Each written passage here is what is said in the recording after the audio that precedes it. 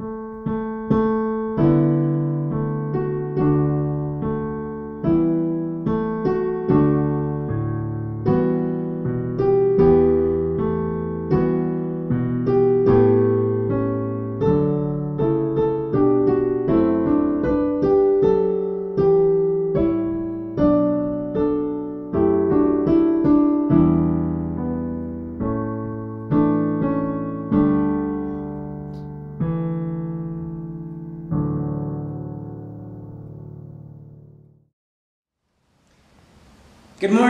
beloved St. Bart's. This is the day the Lord has made. Let us rejoice and be glad in it. It's so good to gather together with you to worship, beloved. We are about to meet the God of the universe. Let's take a moment of silent prayer as we prepare our hearts. Let us pray.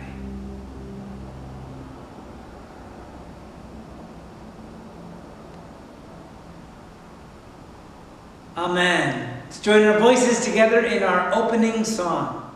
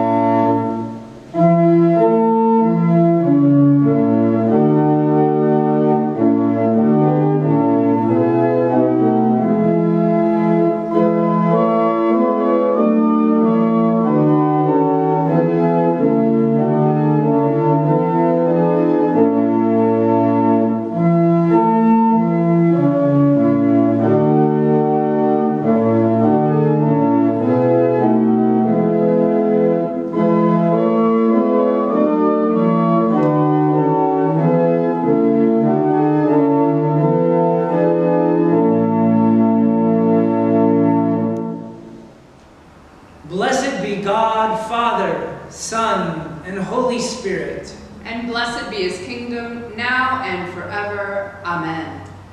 Almighty God, to you all hearts are open, all desires known, and from you no secrets are hid.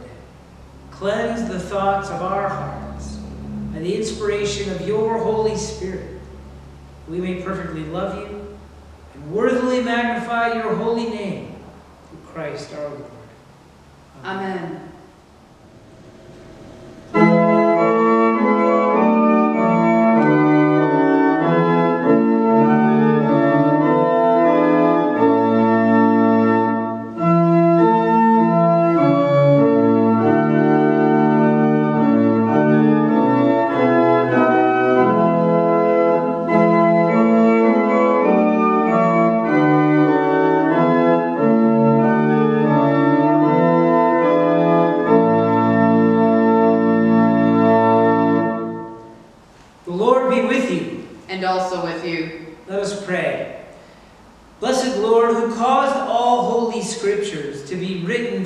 learning, grant us so to hear them, read, mark, learn, and inwardly digest them, that we may embrace and ever hold fast the blessed hope of everlasting life, which you've given us in our Savior Jesus Christ, who lives and reigns with you in the Holy Spirit, one God, forever and ever. Amen. To you I lift up my eyes, to you enthroned in the heavens, as the eyes of servants look to the hand of their masters, and the eyes of a maid to the hand of her mistress. So your eyes look to the Lord our God, until he show us his mercy. Have mercy upon us, O Lord, have mercy. For we have had more than enough of content, too much of the scorn of the indolent rich, and of derision of the proud. Glory to the Father, and to the Son, and to the Holy Spirit, as it was in the beginning, is now, and will be forever. Amen. The Gospel according to Matthew, the 25th chapter, starting at the 14th verse. Jesus said, For it is as if a man, going on a journey, summoned his slaves and entrusted his property to them. To one he gave five talents, to another two, and to another one. To each according to his ability. Then he went away. The one who had received the five talents went off at once and traded with them, and made five more talents. In the same way, two talents made two more talents. But the one who had received one talent went off and dug a hole in the ground and hid his master's money. After a long time, the master of those slaves came and settled accounts with them. Then the one who had received five talents came forward, bringing five more talents, saying, Master, you handed over to me five talents. See, I have made five more talents. His master said to him, Well done, good and trustworthy slave. You have been trustworthy in few things. I will put you in charge of many things. Enter into the joy of your master. And the one with two talents also came forward, saying, Master, you handed over to me two talents. See, I have made two more talents. His master said to him, Well done, good and trustworthy slave.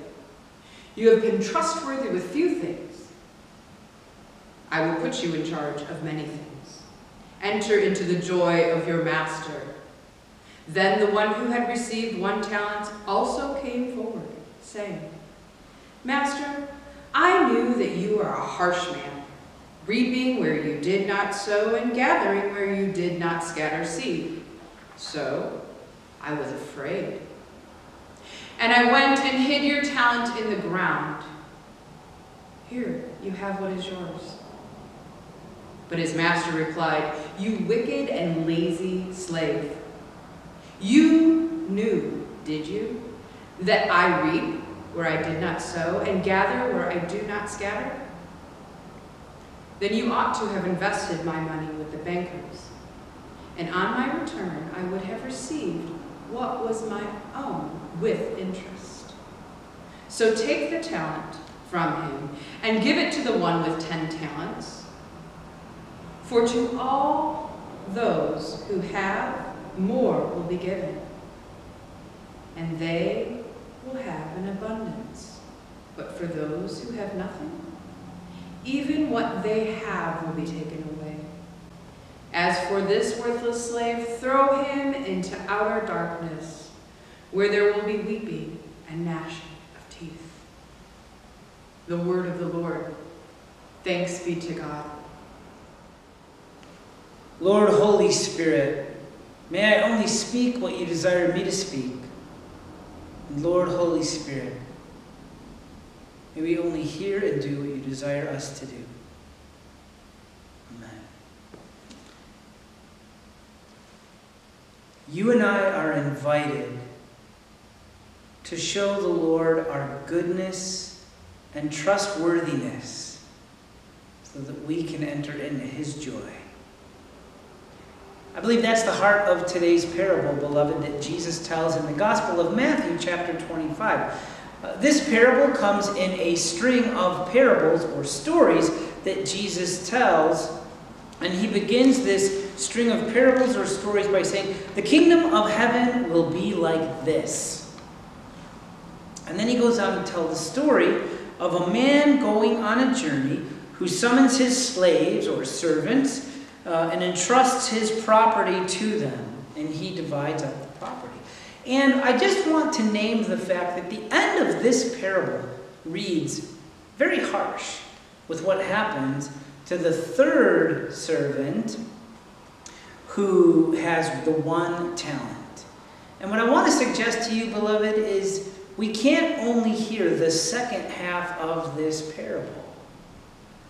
Because the first half of this parable has so many life giving and positive things to say. It, it, says that God wants to give the members of his kingdom resources. He wants to acknowledge their goodness and trustworthiness so that they can enter into his joy.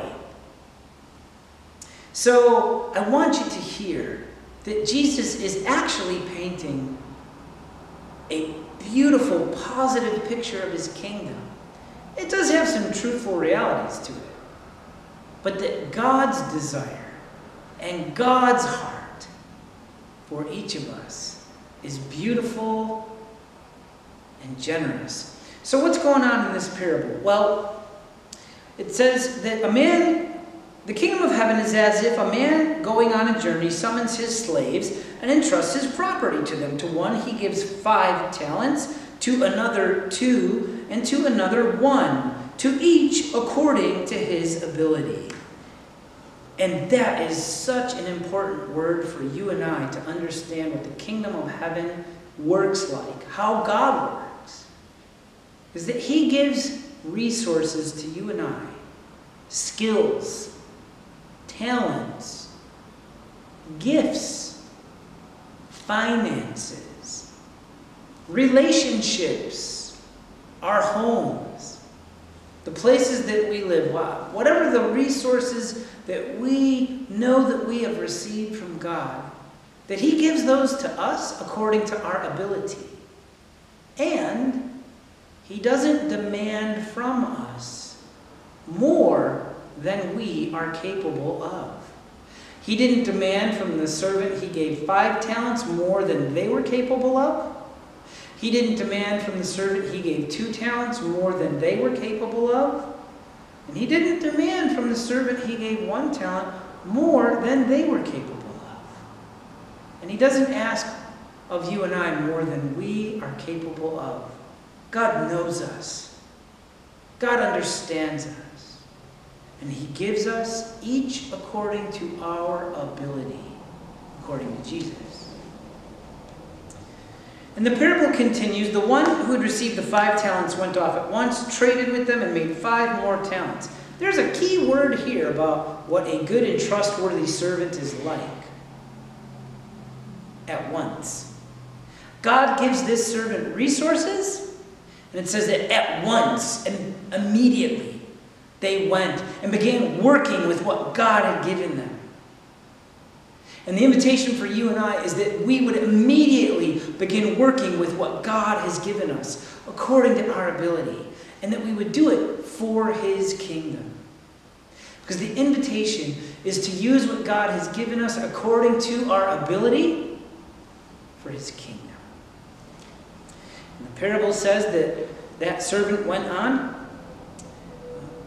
at once and traded with them and made five more talents. In the same way, the one who had two talents made two more talents, but the one who received one talent went off and dug a hole in the ground and hid his master's money. After a long time, the master of those slaves came and settled accounts with them. Then the one who had received the five talents came forward, bringing five more. Saying, Master, you handed over to me five talents. See, I have made five more talents. His master said, Well done, good and trustworthy servant. You have been trustworthy in a few things. I will put you in charge of many things. Enter into the joy of your master. Now, think about this for just a minute.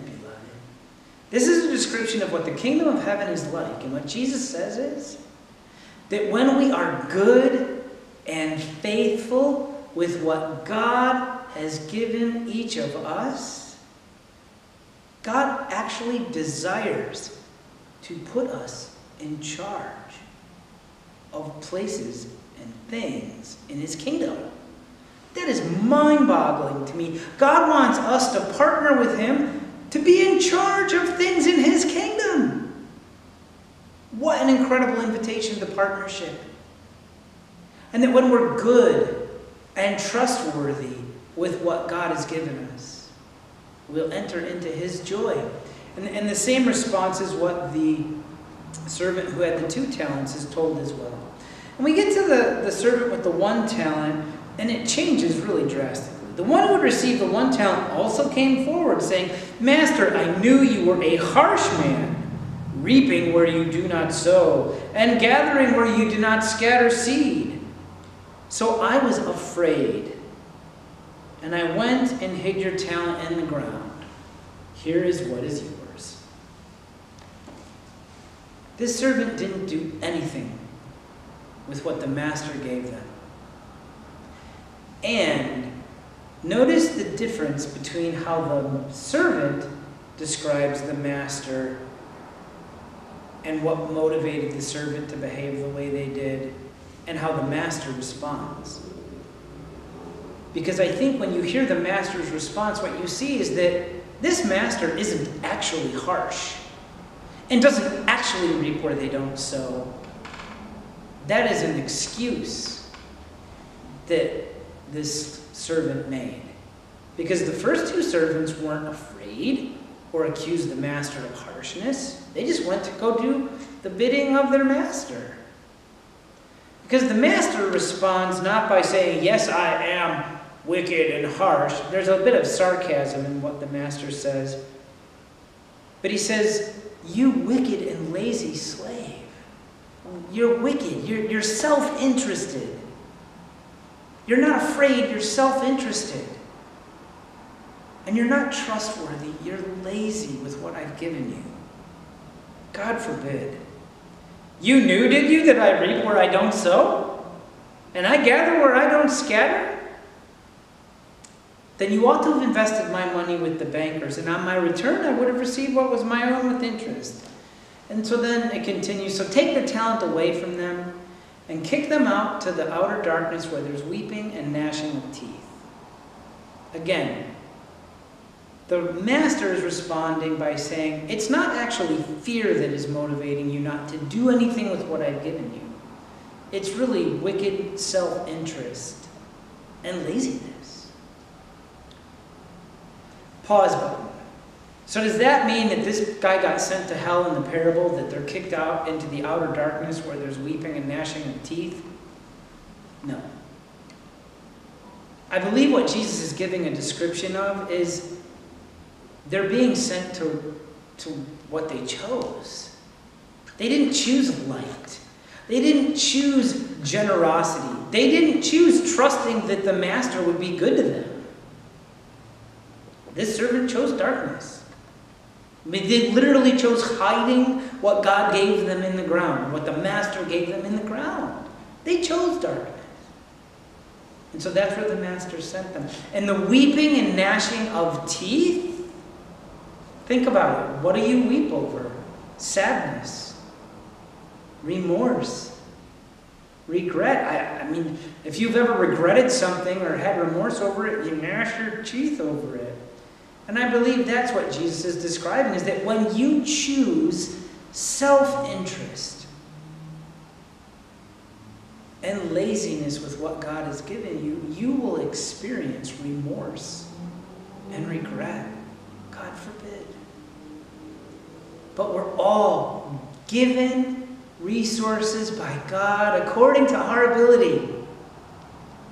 And when we at once choose to bless the world with them, to do all we can with what God has given us, no matter how much or how little we feel it may be, God will tell us, Well done, good and trustworthy.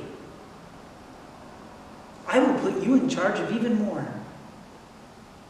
Enter into the joy of your master. Beloved, this whole parable is an invitation to know the joy of our master. Think through what has God given me? What talents?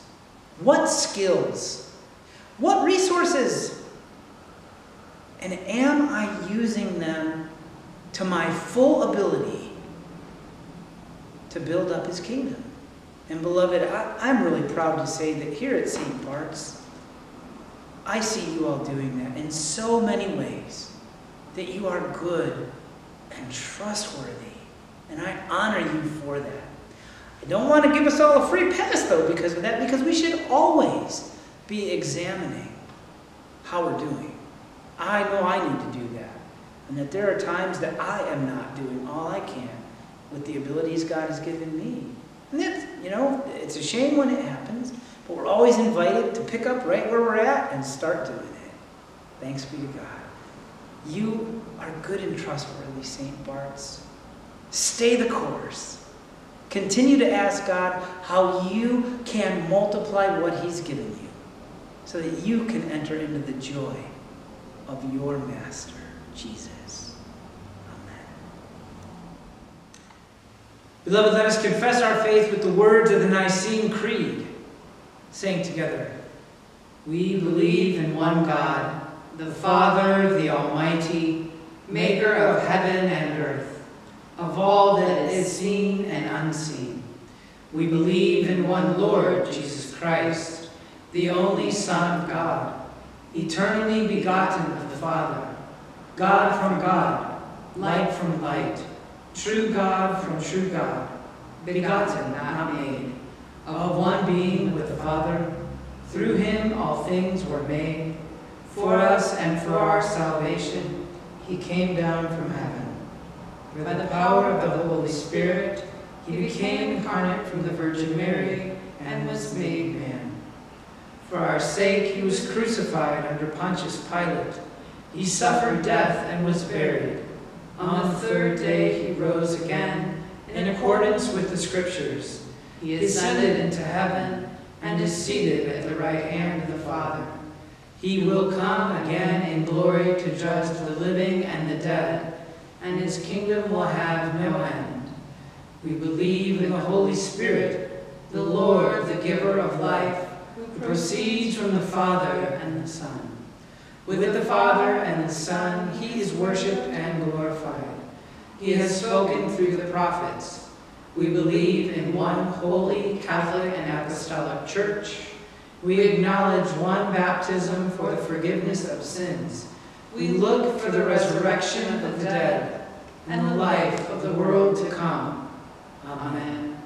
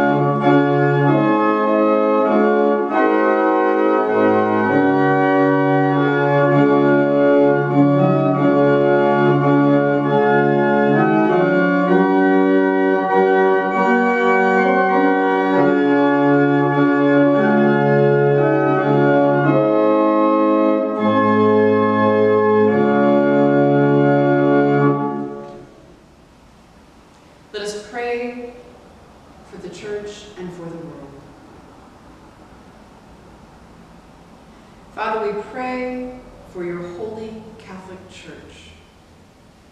That we all may be one. Grant that every member of the church may truly and humbly serve you. That your name may be glorified by all people.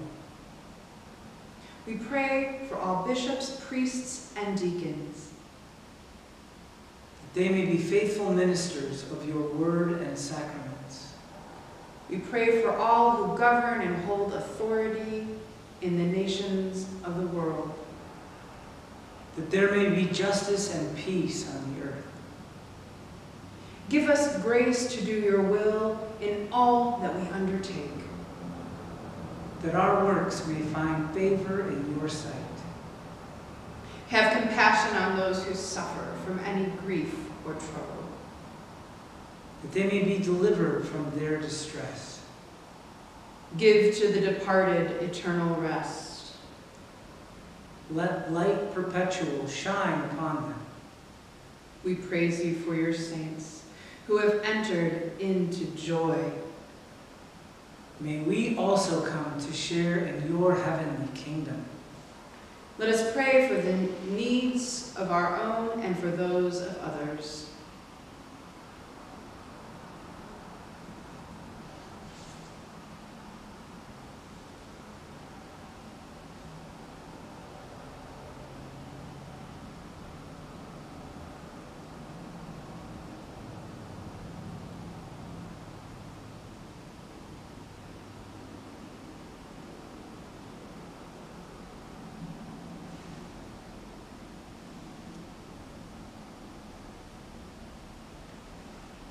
Almighty and eternal God, ruler of all things in heaven and earth, mercifully accept the prayers of your people and strengthen us to do your will through Jesus Christ our Lord.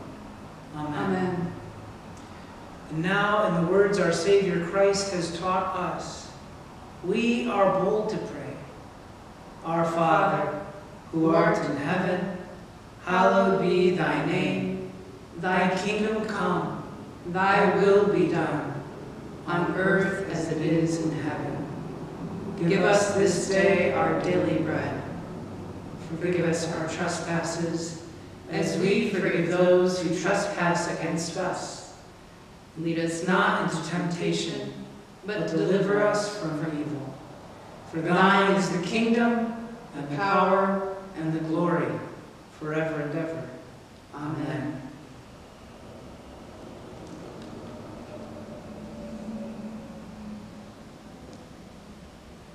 Let us confess our sins against God and our neighbor.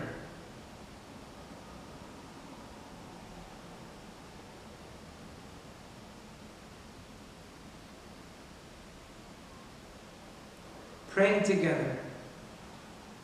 Most merciful God, we confess that we have sinned against you in thought, word, and deed, by what we have done and by what we have left undone.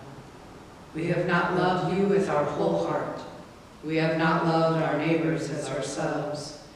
We are truly sorry, and we humbly repent. For the sake of your Son, Jesus Christ, have mercy on us and forgive us, that we may delight in your will and walk in your ways, to the glory of your name. Amen. Almighty God, have mercy on you. Forgive you all your sins through our Lord Jesus Christ. Strengthen you in all goodness, and by the power of the Holy Spirit, keep you in eternal life. Amen.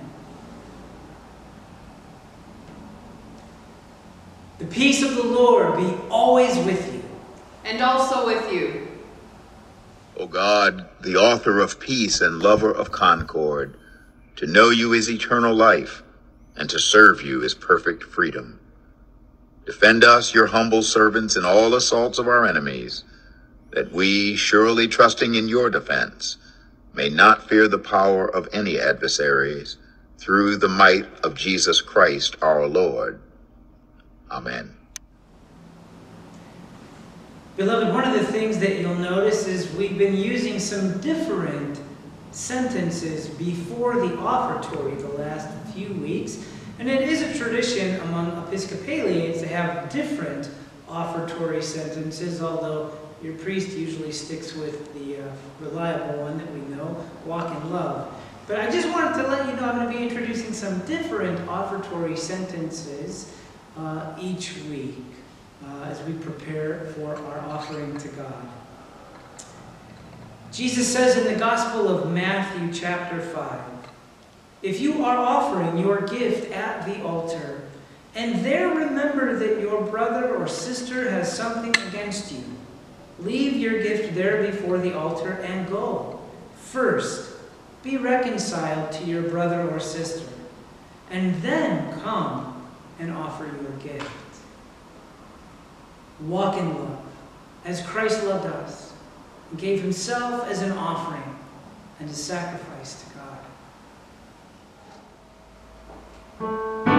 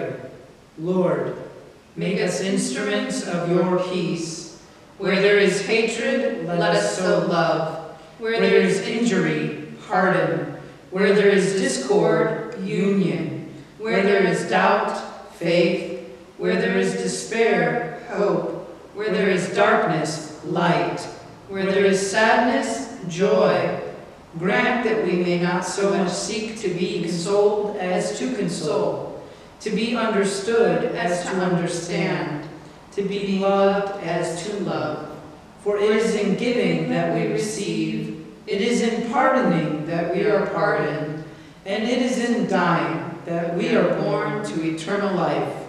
Amen.